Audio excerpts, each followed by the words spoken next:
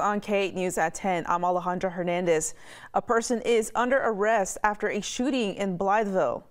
According to Blytheville police, the shooting happened on the 1700 block of Chickasawba Street in Blytheville on Thursday, May 9th. Police received a call about a man being shot. Police found the victim and he was transported to a hospital in Memphis. Police identified 27-year-old Antonio Lee Matthews as the shooter. The next day, police found out Matthews was at an apartment complex and he was taken into custody there.